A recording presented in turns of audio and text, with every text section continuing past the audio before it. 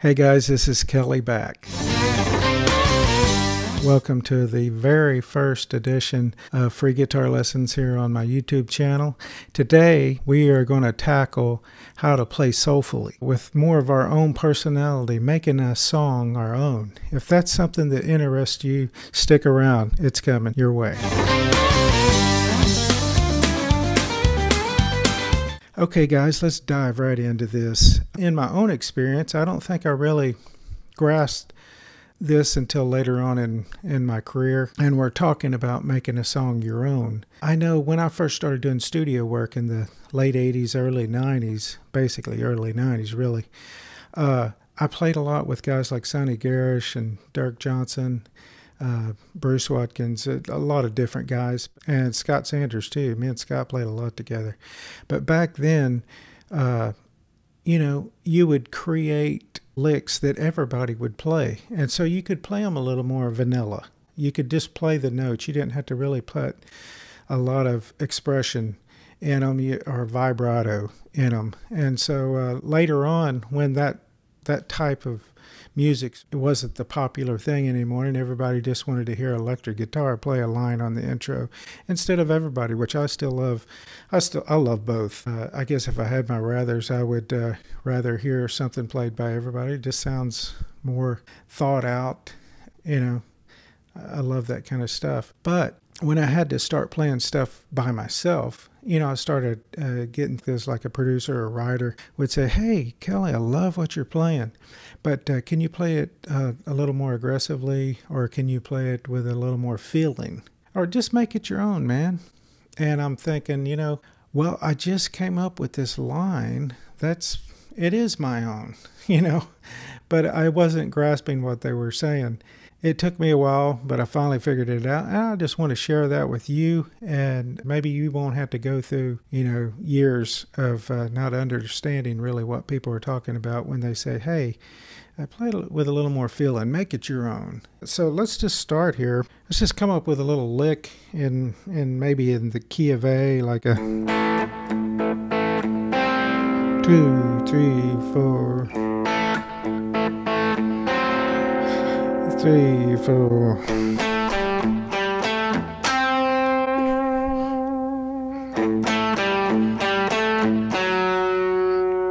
Okay, that's nice. That uh, you know, I could hear that on the radio. Hey, we should write a song to that. but you know, it's sort of vanilla. So how can I make that a little more my own? How can I make it with a little more soul? Let's see. You see, just adding that little bit of vibrato. And the way I attacked it also, I didn't just attack the string, I sort of sweep into it.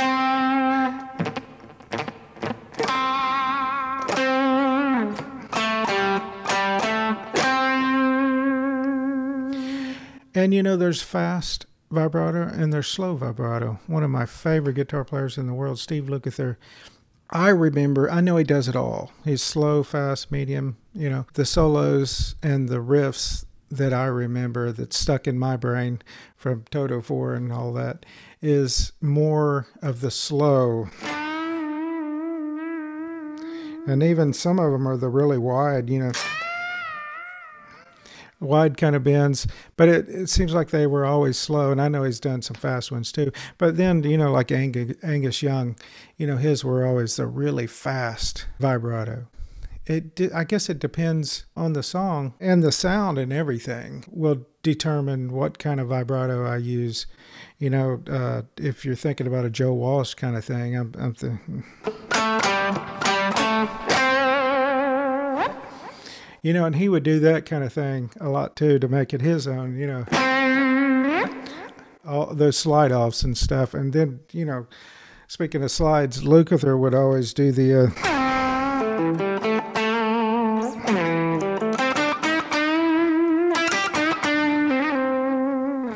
I love those expressions too. You know, just a, you know, what can make it your own.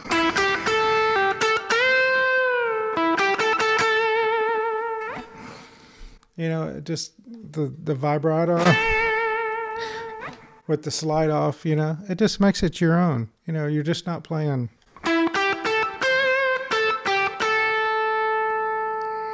It sounds vanilla that way, right? It's hard for me not to play the vibrato. Do you see that? I guess that's who I am.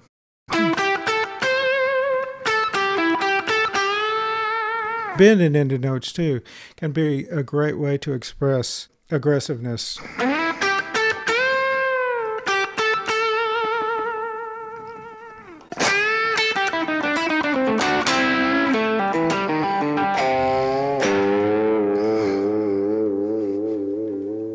Yeah, I love the the whole tone low thing. You know, I, I seem to use that a lot on like real aggressive um, uh, rock country kind of stuff, especially on the end of a song. You know.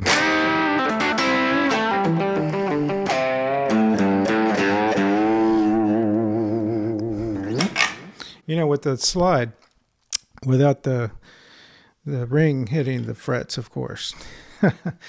Yeah.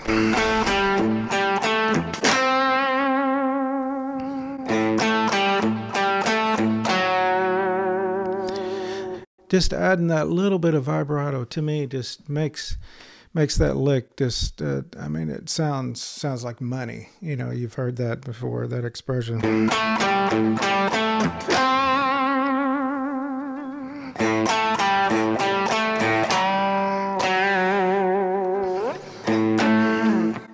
and you know just adding dirt you know it can always add a little more aggression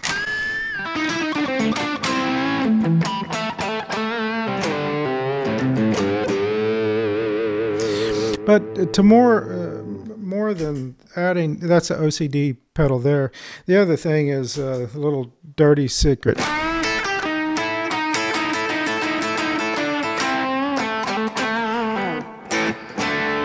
But here's the OCD.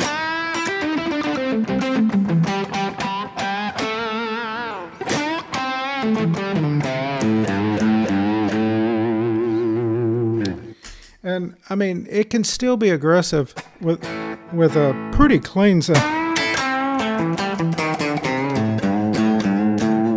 And to me, what makes it more aggressive is the the bends, the vibrato.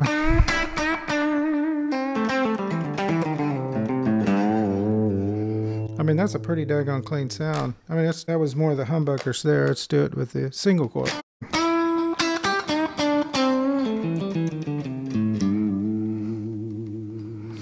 Mean, see, to me, more than what makes it aggressive to me is it's all the bends, the vibrato, and the attack.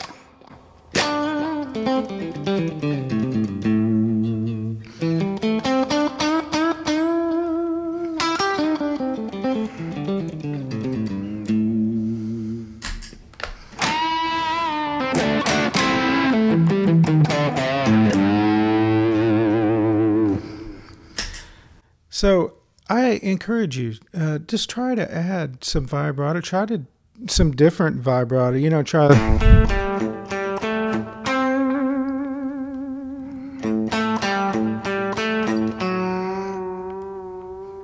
I mean, you can exaggerate it.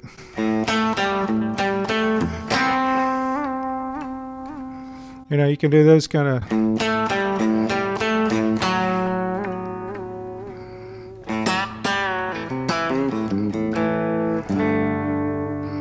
Switch guitars here. This is actually a guitar made by a company called Vintage. It's not a vintage guitar, but it is a vintage guitar. Vintage. Vintage. It's the brand name. Actually, I uh, borrowed this guitar on a Jimmy Fortune session from Mark Capps. If y'all know Jimmy Capps, I'm sure you know Mark Capps. Great engineer in this town. Works with the Isaacs, some of my favorite singers, by the way. But Mark, let me try this and out. This is a 52 uh, kind of reissue, and he had a 62, and I just fell in love with this one. And he was nice enough to let me borrow this. I've actually had it for a couple months now. Vintage agreed to to make me one. Been really slammed here the last few two or three weeks because of NAMM show out in California. And man, I'll have to say, these are some of the best Plantellis. The hardware is just amazing on them. I wanted to show you that also you can, let me turn a little compression on here. You can use it uh, with more of the chicken picking.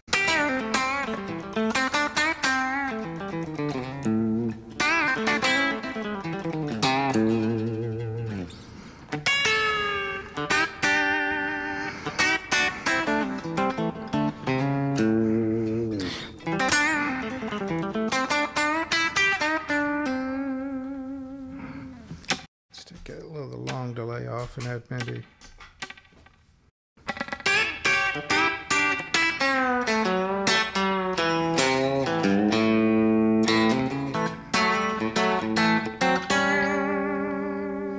that little fast vibrato there.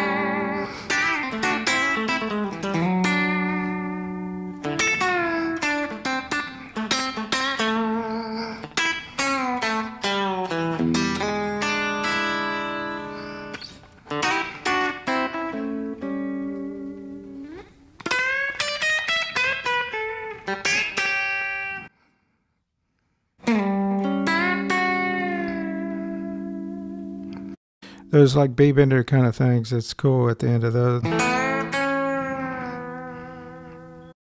Like to give a little slow vibrato. Well, I guess it's more of a medium.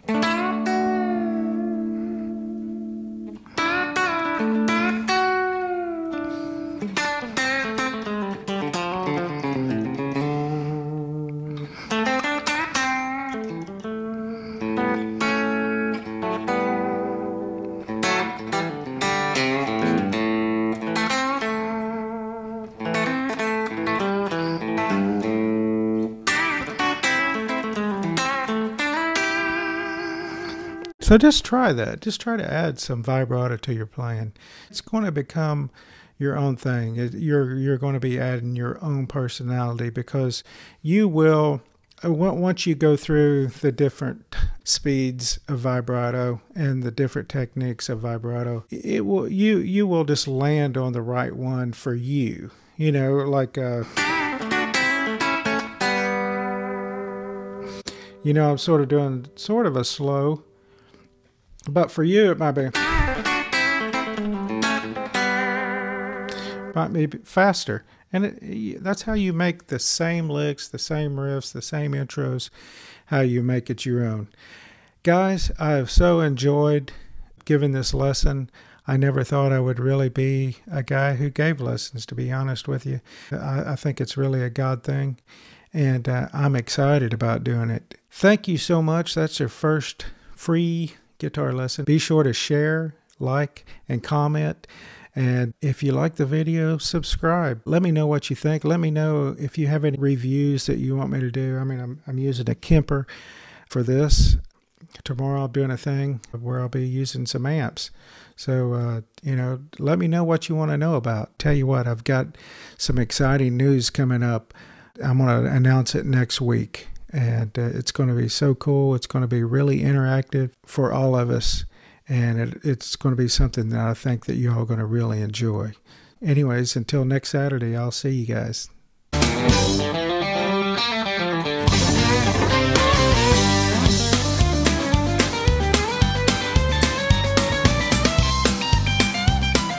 Hey, I'm Kelly Back. Stick around, I've got something real important to share.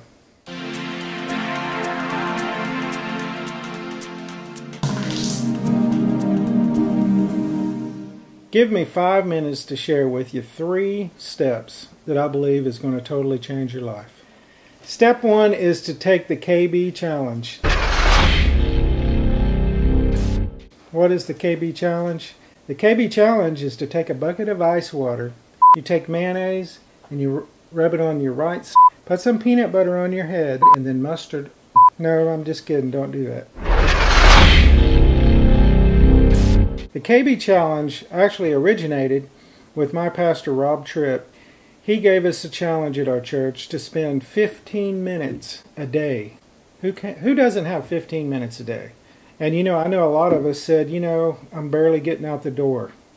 I don't have extra 15 minutes. Set your clock a little early. That's what I started doing, about 30 minutes early. He gave us that challenge to do that. I took him up on that.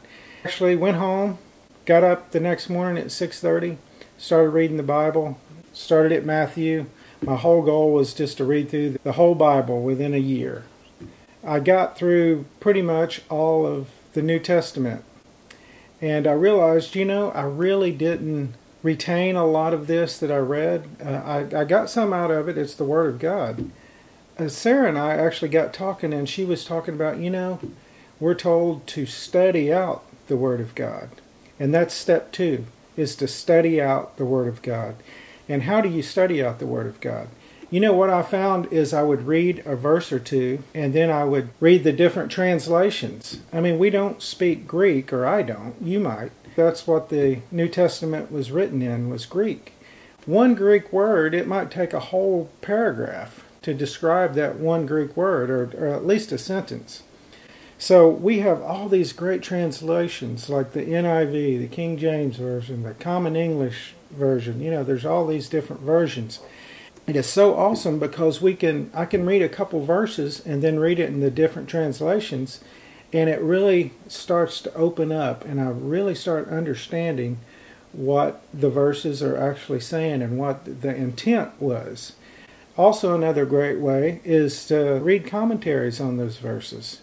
You know, technology is so great for us Bible readers. But that was step 2 is study the word. So step 3 apply the word to your everyday life. You know, it's so awesome to get the word in us. And that way, when we're going through something, we can apply the word. And so many times, God has, the Holy Spirit has led me to a scripture. How many of you have had the same thing happen to you? I bet you have. Not too long ago, 3 a.m., I get a phone call. And it's not a good phone call. And uh, I start getting very anxious. There's nothing really I can do in the situation. Uh, can't hardly go back to sleep. Took me probably at least an hour to get back to sleep. Then the next morning I got up. That's the first thing on my mind. And thank the Lord for the, the KB challenge or the Rob Trip challenge. I had a routine. I went in, I got my uh, iPad out, I opened up my Bible app, and I would just happened to be reading in Philippians. And I really believe the Holy Spirit led me to Philippians 4 4. And I'd just like to share that with you. Me being anxious and everything, you know, during that time, and what a great scripture for me to read. I'm sure a lot of you know what I want to say.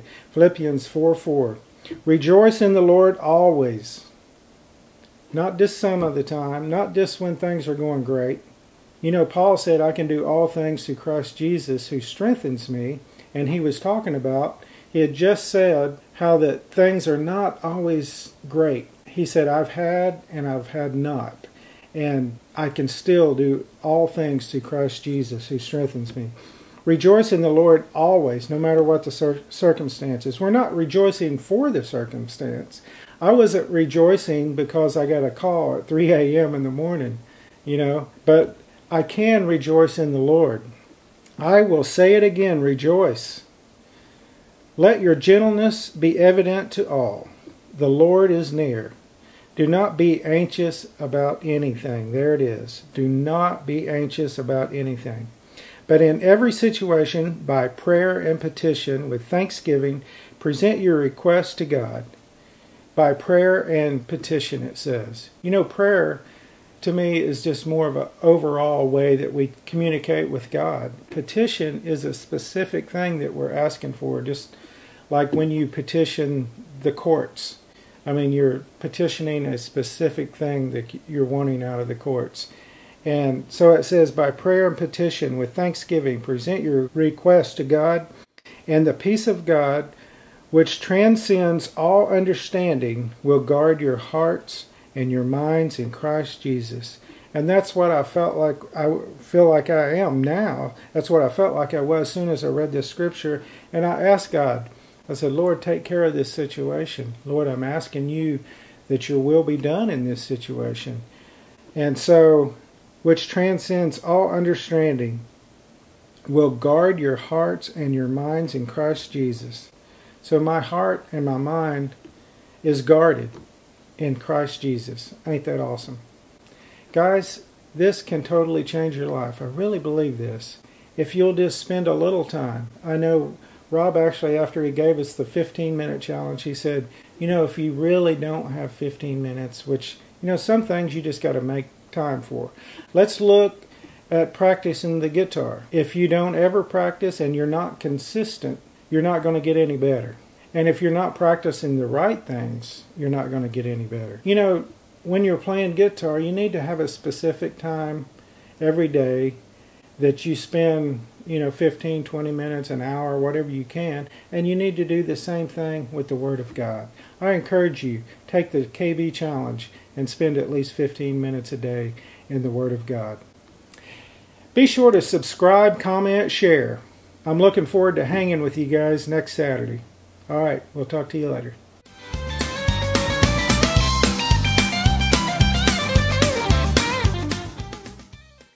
Hey guys, it's Kelly Back here at my little studio. Let you see some behind the scenes here.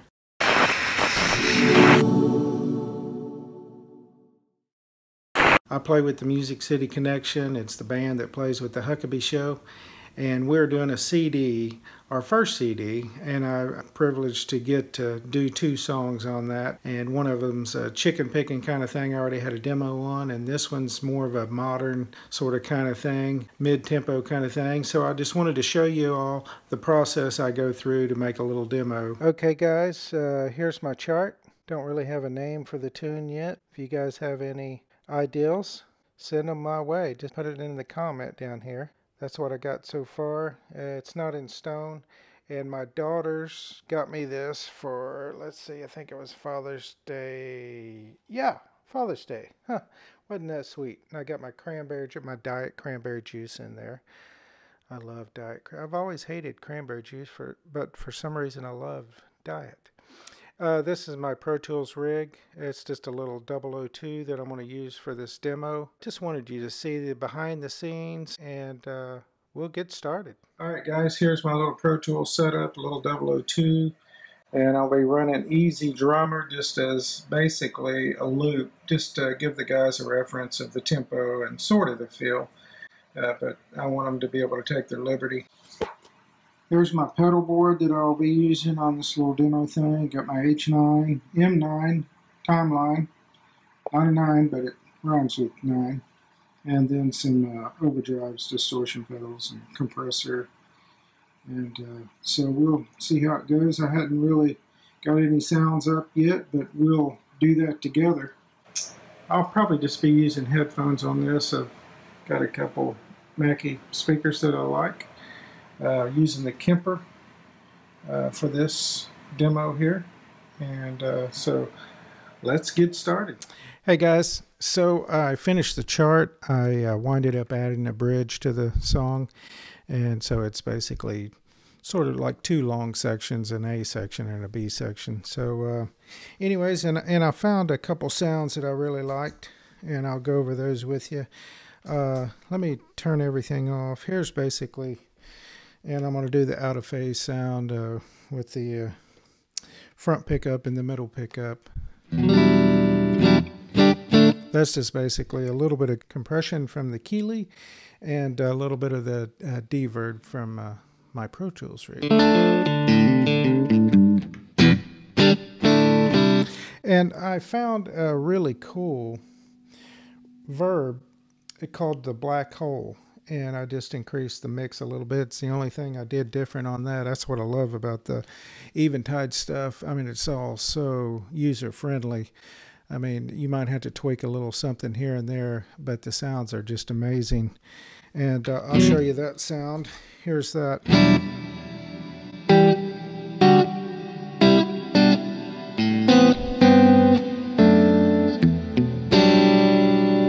Just sweet, just lush.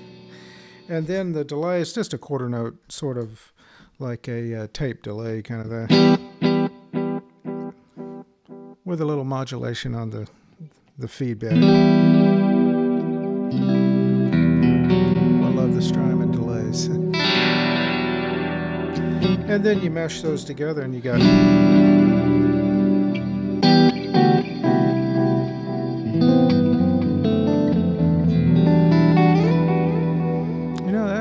like that might actually be cool for the front of this.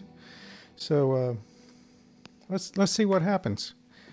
So we'll start with something like that. Let me uh, get a little loopage going.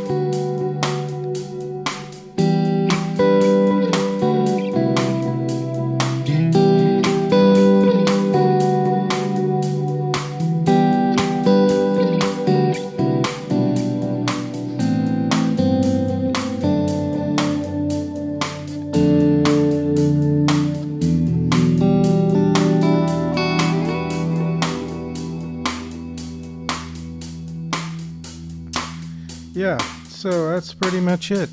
With one little flam in there, a little mistake in there, but uh, hey, I want you to see the behind the scenes, not after we fixed everything. So, anyways, uh, that uh, you've heard it first here on Kelly Back's YouTube channel, behind the scenes.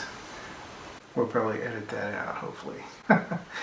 but that's pretty much it. And uh, what I'll do now is I'll send it, uh, we have a GroupMe page, Music City Connection, and I'll send it over and those guys will be able to hear it. I've got the chart. So uh, I can't wait to play you the final thing and uh, we're going to record Saturday and I'm going to be doing some behind the scenes of the whole session of the whole day. So, and like I said, can't wait to play you the final cut, what finally comes of this piece. So uh, excited.